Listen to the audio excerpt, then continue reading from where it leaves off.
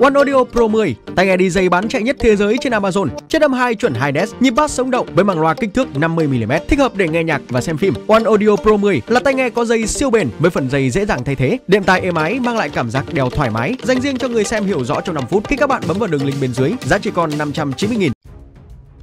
Xin chào và chào mừng các bạn đến với video cập nhật chiến sự Ukraine trực tiếp trên bản đồ sáng thứ năm ngày 18 tháng 1. Trong video này chúng ta sẽ cùng thảo luận về những diễn biến đã được đăng tải lên tại Ukraine trong ngày hôm qua. Cách đây vài tuần, Viện Nghiên cứu Chuyên tranh IFW của Mỹ và rất nhiều các chuyên gia đều đưa ra dự báo về việc quân đội Nga có khả năng sẽ phát động một chiến dịch tấn công quy mô lớn lần thứ hai vào ngày 15. Dựa theo các video mình nhận được thì rất khó để xác định người Nga trong hôm qua đã thực sự làm điều này hay chưa. Nhưng nếu như dựa theo báo cáo của Bộ Quốc phòng Nga thì đúng là như vậy.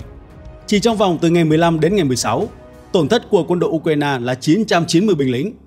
Mức cao nhất kể từ đầu năm và mình nghĩ là gần nhất người Ukraine phải chịu thiệt hại như thế này đã là kể từ khi chiến dịch phản công đặc biệt của họ ở Robotine. Đúng là quân đội Nga đã đẩy mạnh các đợt tấn công trên mọi mặt trận kéo dài từ Kubian đến Kharkov. Tuy nhiên, cả hai phe lại không đưa lên cho chúng ta quá nhiều video để có thể nắm bắt được tình hình cụ thể. Bắt đầu ở Sinkivka, như nguồn tin Ukraine cho biết, quân đội Nga đã phát động một đợt tấn công mới. Giao tranh khốc liệt diễn ra bên trong khu định cư và tình thế hiện đang rất phức tạp. Nhưng chúng ta chưa có video nào được đưa lên để có thể hiểu cụ thể tình hình. Chỉ có một video cho thấy quân đội Nga đánh bom vào quanh khu vực này. Có một điều mà ta cần phải để ý tới là trực thăng K-52 đã xuất hiện tại đây. Lần gần nhất mà chúng ta có được thông tin về loại hình trực thăng này là đã từ chối tháng 8 đầu tháng 9 ở đâu đó Nam Donetsk hoặc là Vermesky. Sau đó thì K-52 gần như biến mất hoàn toàn khỏi tiền tuyến. Với việc hiện tại nó đã xuất hiện ở Kupian, thì có vẻ như người Nga đã hiểu được giá trị của mặt trận này và muốn củng cố thêm cho lực lượng hiện tại của họ. K-52 có thể phá hủy xe tăng và thiết giáp, trong đó quan trọng nhất sẽ là xe tăng Abram của Ukraine và mình nghĩ sớm thôi nó cũng sẽ có mặt ở mặt trận này đầu tiên. Di chuyển đến tiền tuyến Liman, tổn thất của quân đội Ukraine trong 24 giờ qua tại đây cũng rất cao, lên tới 250 binh lính quân đội Nga thành công đẩy lùi 4 đợt tấn công của hai lữ đoàn. Một là lữ đoàn cơ giới hóa số 63 và hai là lữ đoàn không kích số 25 ở các khu vực Chervonaya, Diprova, Yabolivska và một vài khu vực khác. Đây là lữ đoàn không kích số 25. Theo như bản đồ điều phối lực lượng thì họ hiện đang được bố trí ở khu vực trải dài từ Neske đến Tony, phạm vi mà người Nga gần đây có được những bước tiến khá đáng kể. Còn lữ đoàn cơ giới hóa số 63 thì họ ở tận đằng sau, đóng vai trò như một đơn vị dự bị. Nhưng theo như thông tin vừa rồi thì có vẻ như họ đã được triệu tập ra tiền tuyến.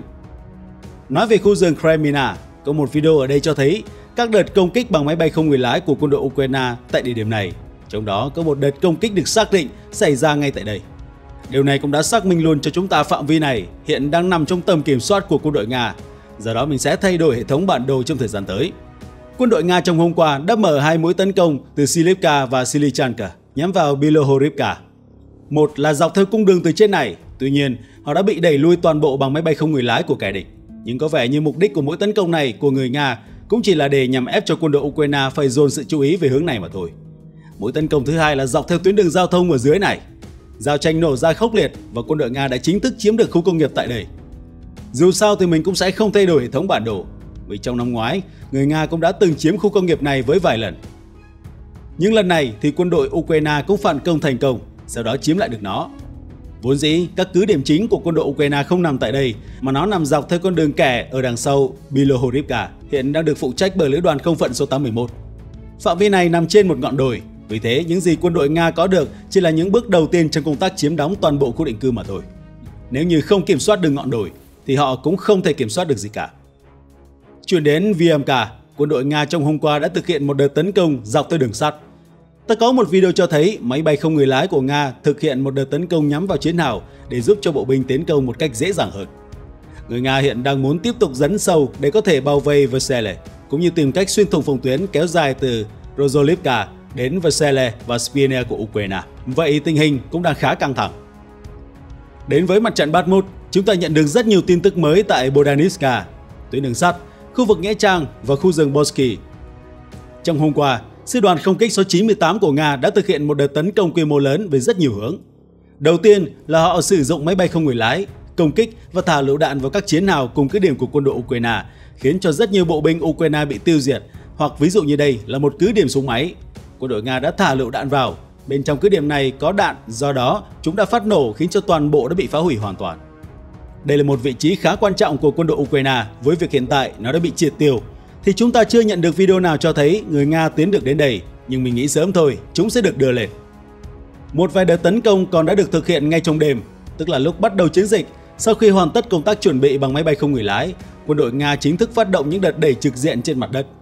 Đầu tiên là video ở đây, khi người Nga công kích vào hàng cây, họ được thiết giáp trở đến khu vực cánh đồng rồi sau đó tiến hành dọn dẹp các chiến hào.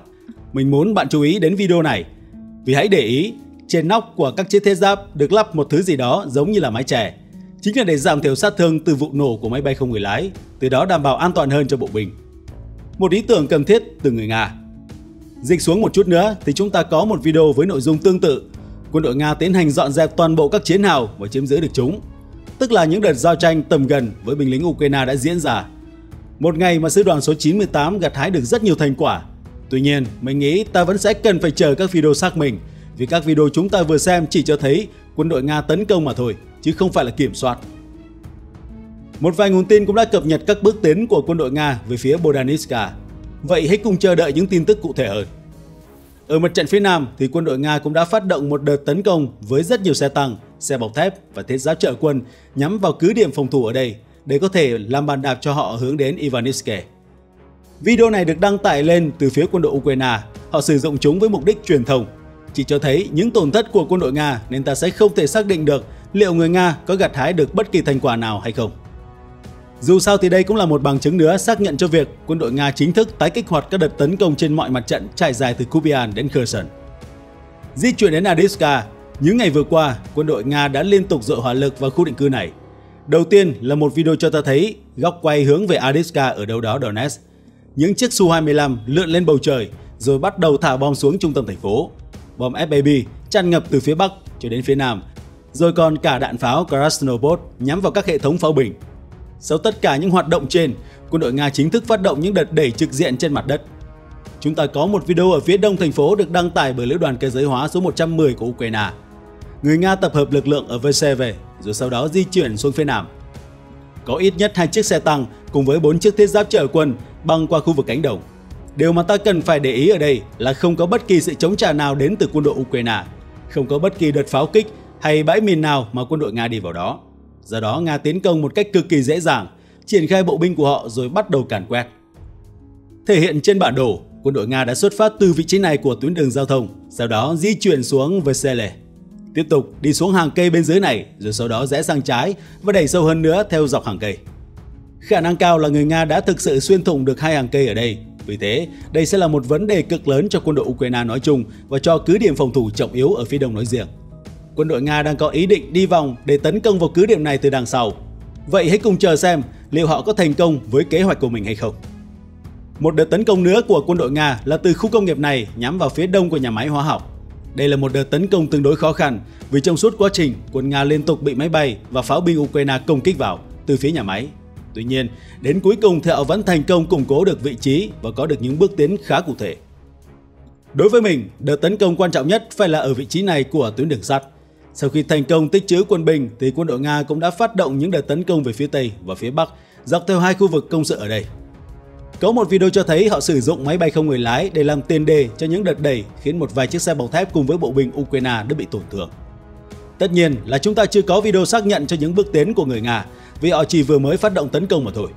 Cứ cho là họ đã tiến sâu hơn thì giờ họ sẽ đến bước tiếp theo là củng cố, rồi sau đó phải đợi để chống trả các đợt phản công của quân đội Ukraine chống trả thành công thì mới có thể tiếp tục dẫn sâu hơn nữa.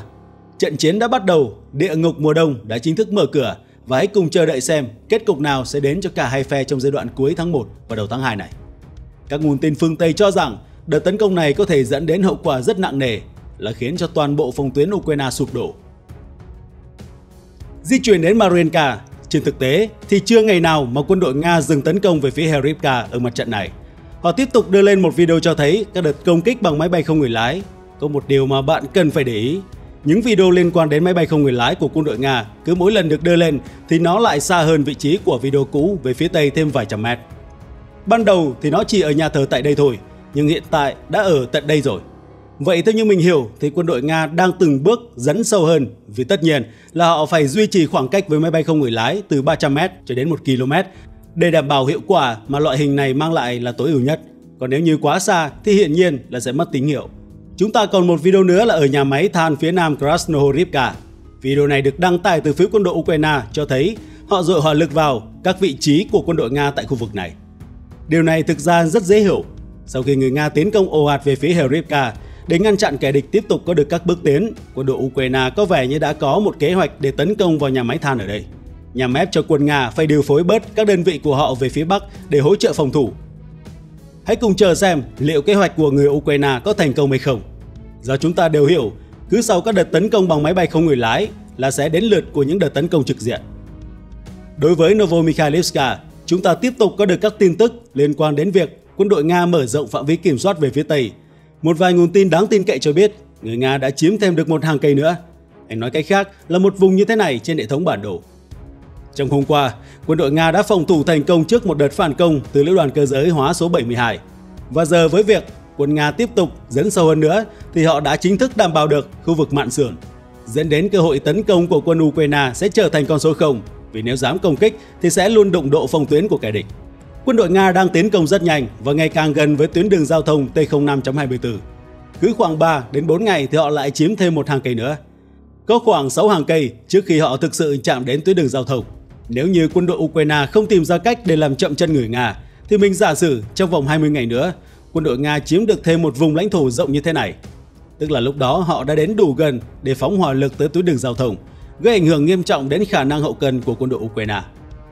Độ dài của tuyến đường này bắt đầu từ Krastatinivka đến Vuleda là 15 km. Và nếu như bị người Nga cắt đứt thì quân đội Ukraine sẽ phải sử dụng một cung đường khác thay thế là đây như mình đang vạch ra với chiều dài gấp đôi lên tới 30 km, nó sẽ gây ảnh hưởng đến khả năng đáp ứng kịp thời trước các tình huống bất ngờ của quân đội Ukraine. Trước đây, những công tác điều phối quân binh chỉ tốn chừng này thời gian. Đi xa hơn gấp đôi đồng nghĩa, lúc đó thì người Ukraine sẽ tốn thời gian đến gấp hai lần. Việc này sẽ dẫn đến những hậu quả không thể lường trước được.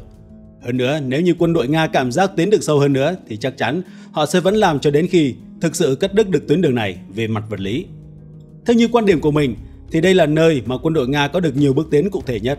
Họ đang làm mọi thứ một cách rất khéo léo, giống như là chiếu tướng Ukraine trong một bàn cờ vậy. Hai chỉ huy thông minh và mưu lực nhất của quân đội Nga trong cuộc chiến này, mình nghĩ hiện đã được giao cho phụ trách Novomikhailivka và Krimki.